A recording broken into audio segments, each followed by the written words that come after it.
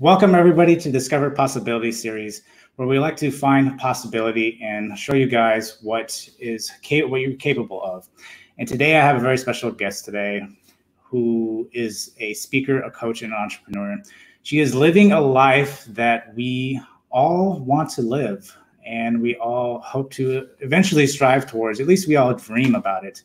Um, I know I have, and I. She was actually a coach of mine for. Uh, a couple months actually. I was introduced to her through her free coaching free coaching program, and I ended up, you know, extending that out for quite a while uh, when I first started out Discover Ignites. And then uh, I was on a brief hiatus, and she reached back out to me when I started it back up again. And I wanted to bring her on because she has quite an amazing story.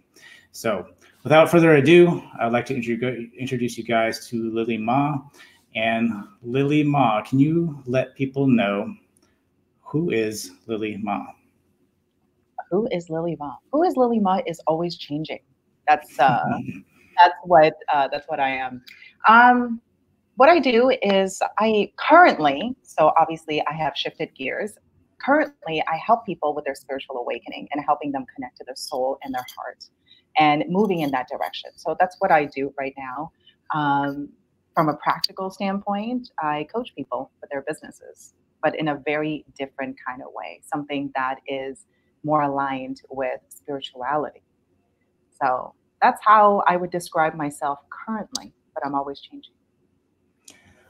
Now, can you, now your story, I did talk about uh, living the dream. Now, I know, you know, I've watched some of the previous videos you've had out there, and I know you come from corporate you know, coming from the corporate side of the house and you jumped into entrepreneurship, right? You didn't really have any kind of um, idea of entrepreneurship or anything like that when you first started? No, I didn't. Um, so I had a very traditional upbringing in a sense that I valued success based on what other people thought success was. So I went to college, I graduated with high honors, I got a job before my graduation ceremony I climbed up the corporate ladder really fast. I made a lot of money. I bought real estate. I bought my own place when I was 21. I had a lot of savings. I got married. I had the beautiful house with a huge acre of land and everything. So I succeeded, succeeded in the traditional sense really early on in my life, which is actually a blessing because once I went through that, I realized that this is not what I want. This is what somebody else wants. So I got the love and the validation from living a pretty traditional life.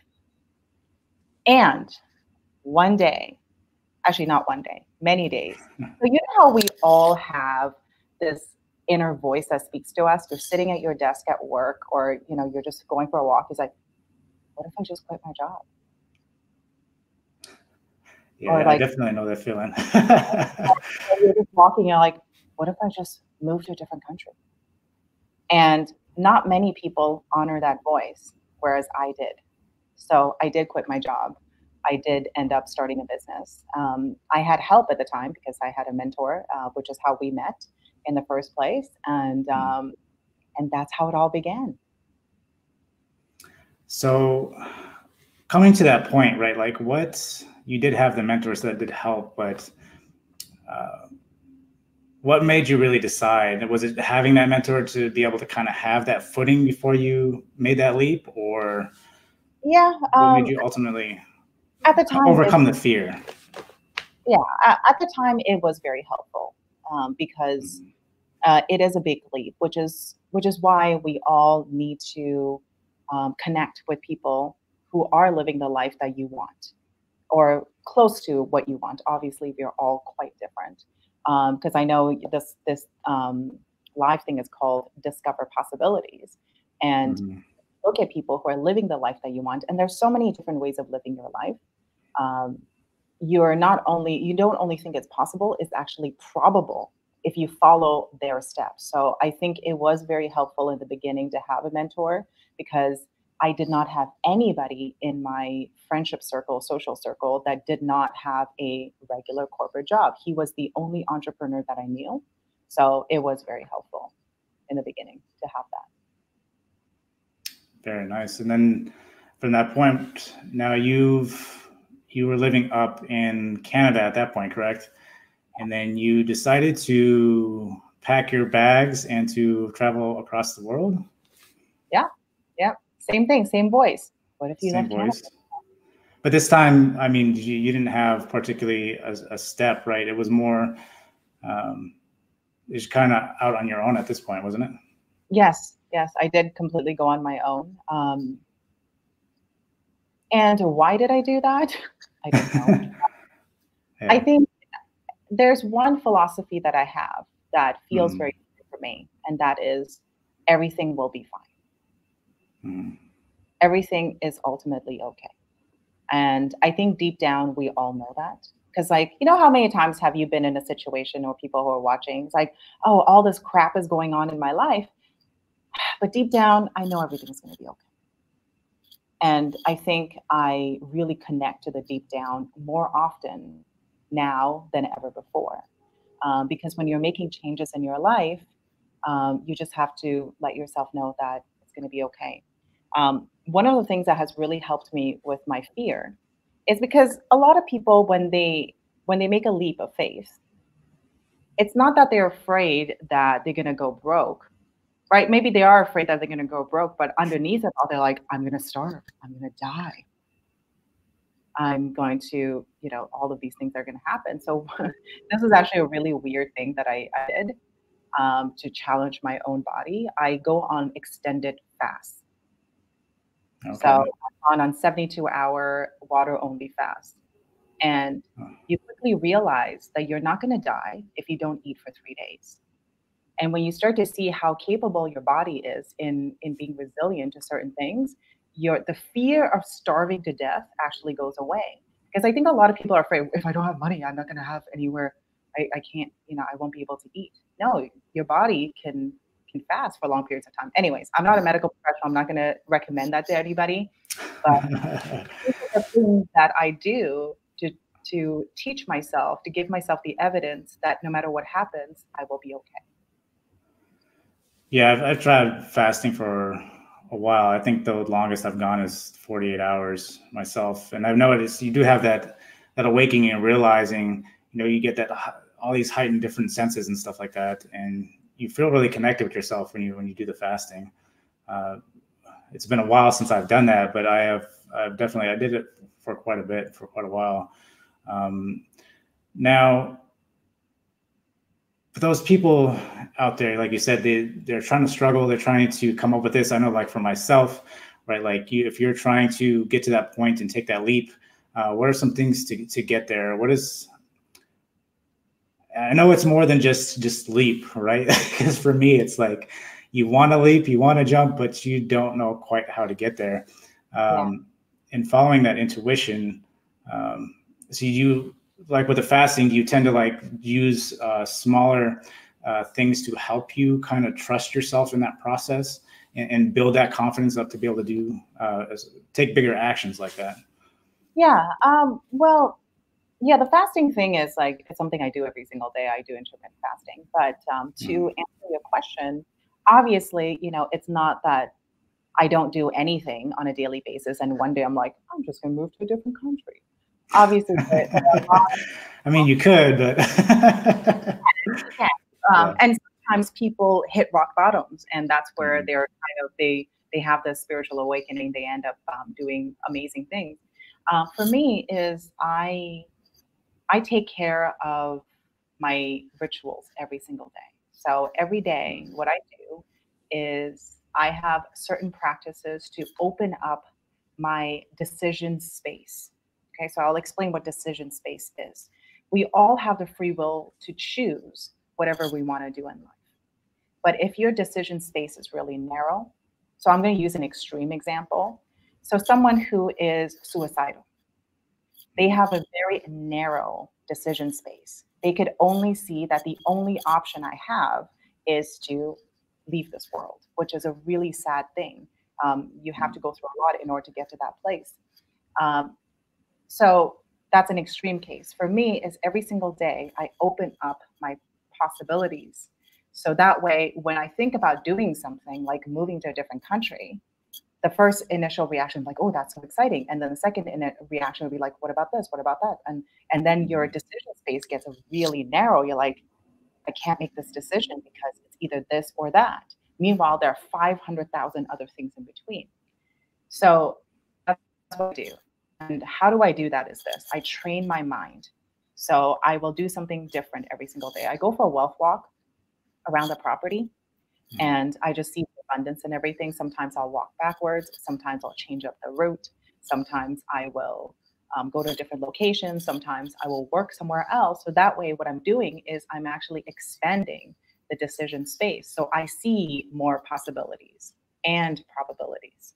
So that's a very good way for people to start training their mind to see that they have so many options. It's not either you quit your job and starve or you don't quit your job.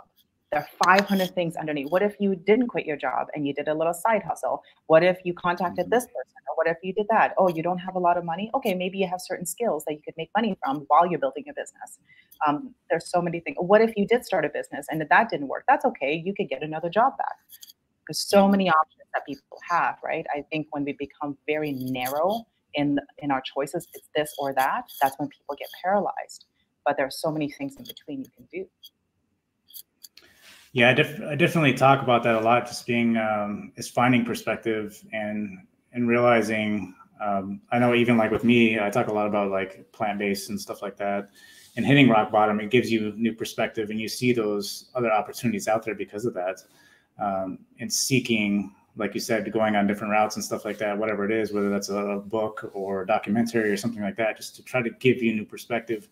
I think a lot of people do uh, get locked in that that space where they they don't see anything and uh, come from a scarcity mindset. So that's definitely something I see there. Now, um, as far as intuition, you talk about following your heart. Now, can you tell me what the difference between intuition and following your heart is, or are they both one and the same? Um, they, I see it as the same, but I do know what you're trying to uh, i do know what you're implying here sometimes people mm-hmm. would say follow your gut right follow mm-hmm. your i don't recommend doing that all the time is because when you haven't done um, your haven't done the work in clearing out your channel um, there's a lot of um, debris that's there so you may you may have a lot of fear in your body you may have a lot of addictions in your body and impulses. So sometimes when you say follow your gut, people will be like, well, my gut says that I need to get that cookie or something because that's an addictive place. That's your impulse. Versus your heart is a much wiser place to come from. It's actually uh, seeing things from an observation perspective. So I have an exercise that I do every single day, which actually puts me in a heart brain coherence. And that's when you tap into the wisdom of the heart. And when you do this exercise, I do it every single morning. And when I do it, it actually lasts for six hours. And this is something that people can look up on the HeartMath Institute. So it's called HeartMath Institute. I think I'll give you the link and then you can link it for people to see. There's a lot of scientific research that has been done about the power of following the heart and power of the heart. And there mm-hmm. are actual exercises that you can do for it. So that's what I mean by following the heart. If you want, I could quickly go over the exercise. Um, oh, yeah, that'd be great. Yeah, so what you do is it's really quick. You just first is bringing focus to your heart. So you just simply put your hand on your heart and you bring the focus there and attention there. And then after that, you close your eyes and you take a couple of deep conscious breaths. And the reason why it's important to take these deep, long, conscious breaths is because it signals to the body that you're safe. A lot of the times we're making decisions out of fear, out of lack, mm-hmm. feeling like, you know, we need to do this, otherwise we're not enough. Like there's so many things that go on. But when you when you signal to your body that you are safe, then now you're making a decision from a place of creativity, from a place of abundance, from a place of love. And then the last part is tapping into gratitude and appreciation. So thinking about all the things that you're grateful for, you're appreciative of.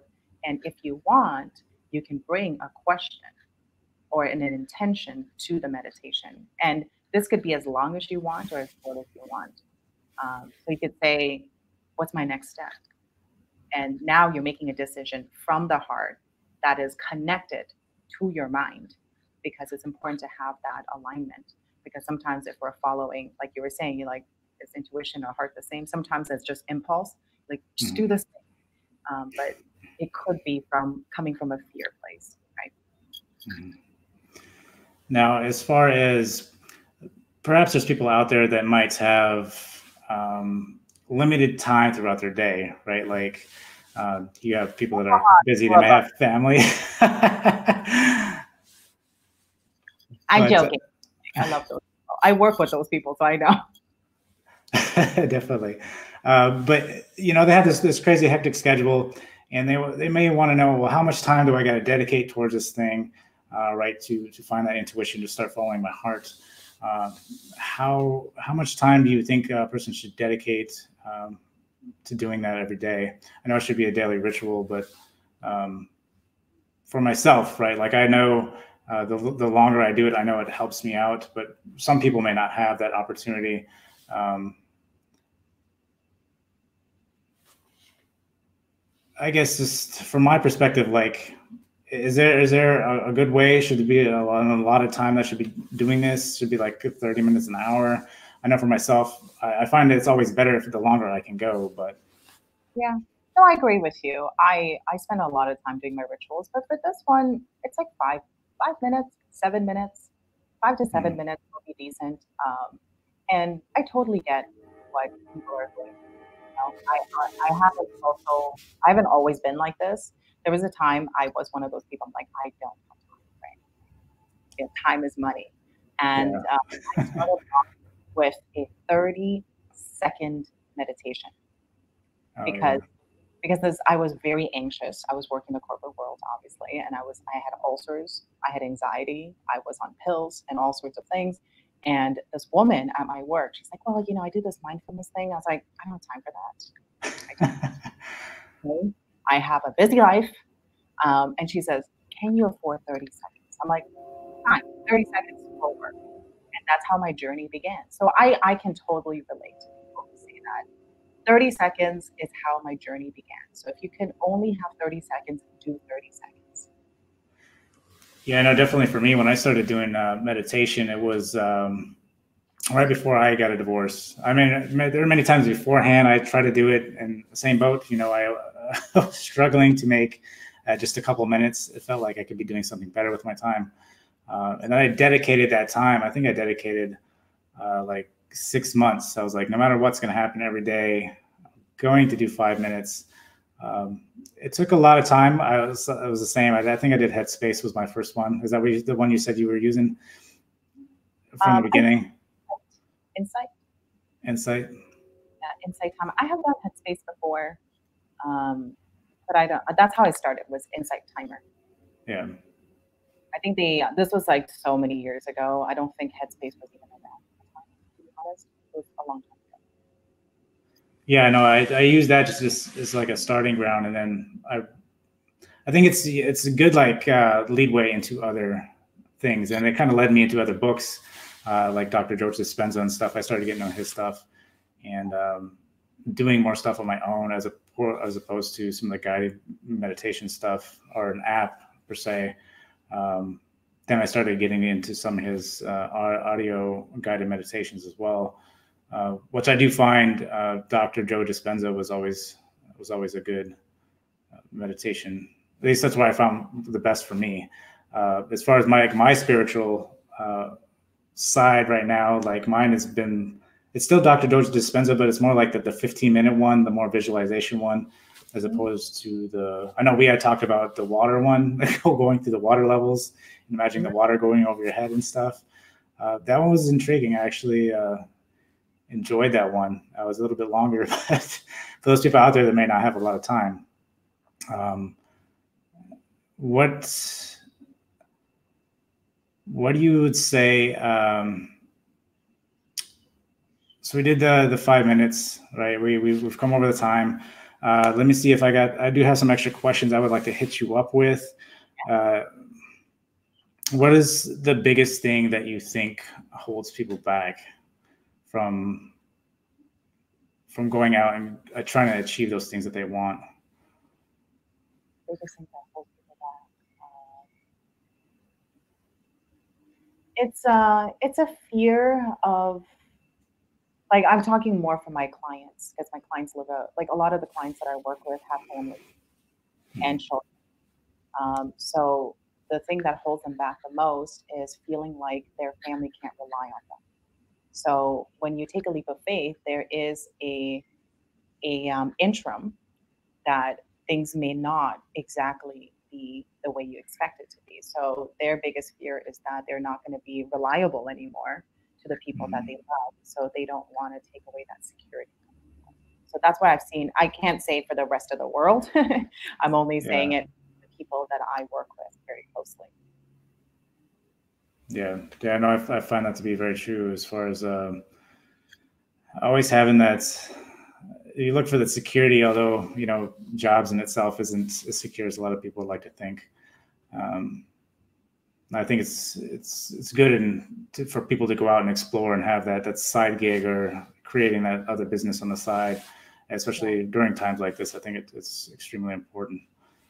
But uh, the next question I have is uh, worst advice you've ever received. it's not even something that I think about.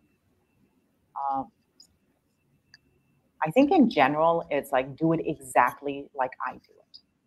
Yes. I think, yeah, that's like probably the worst advice because even me, when I work with my clients, I don't expect people to just take my word for it. Mm-hmm. Uh, try it for yourself, see if it works. We're different people. Um, so I think maybe that's it. I'll just leave it there. Yeah, I know that's something I talk about a lot too. Is um, there's a lot of people expect you know steps one through five to work correctly and then you know you find out step two it's not working like they say it's work it's supposed to work right and so i always tell people to try to to tweak it to um, to who they are their unique yeah. side and so exactly. i find that yeah because it's definitely what i found out and I, have definitely been trying to to push other people to do as well is to not just take it for what it is um, so uh, that, to the point of the, what you're saying, it's kind of being open-minded skeptic, which is kind of like an interesting term. It's like mm-hmm.